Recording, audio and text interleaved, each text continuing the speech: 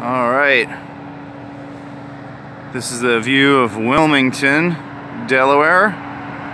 Uh, from the top of the hill, it's called Penny Hill. And uh, it's like 8 a.m. Made myself sleep last night. I had found a nice little spot in the woods and got some sleep.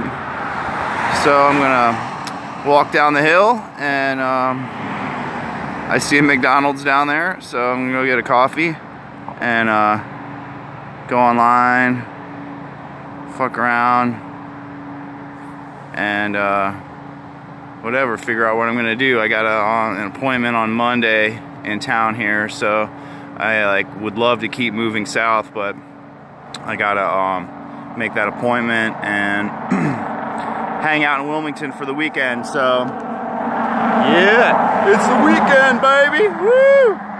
So, uh, anyway, party. The big city.